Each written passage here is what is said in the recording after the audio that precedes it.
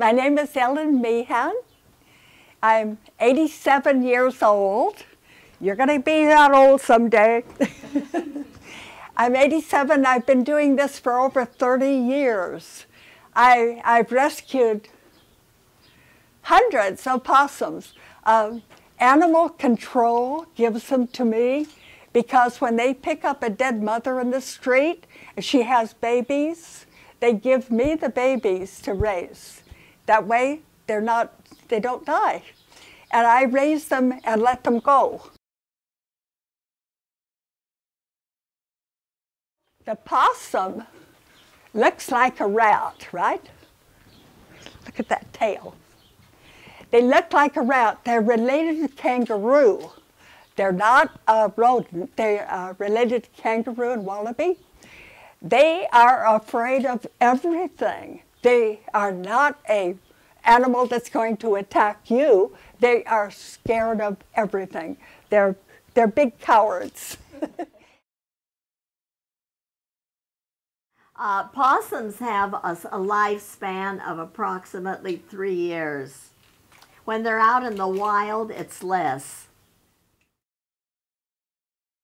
It, it, it breaks your heart. I pick them up. Sometimes they're mangled. They're, they've been hit by a car. They've been bitten by a dog. They've been beaten by a person. Uh, they're in terrible pain, I know. I have never heard one little sound from a possum. Some people just are so afraid of them. And I think they think they're a huge rodent uh, that's going to bite them. I've never been bitten, never.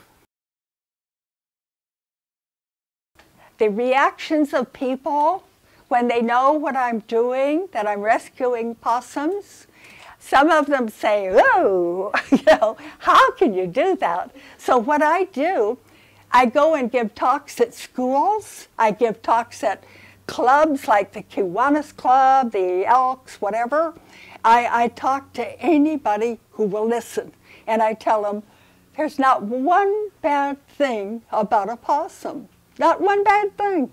What do they do? All they eat is stuff you don't want. You guys want to eat a lot of snails or slugs, you know? and that's, uh, there's not one bad thing that I can even think of. So I try to tell people. Some people will look at them if you don't love them like I do, but please don't ever hurt them.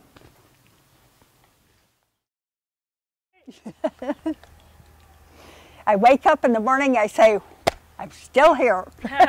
Great.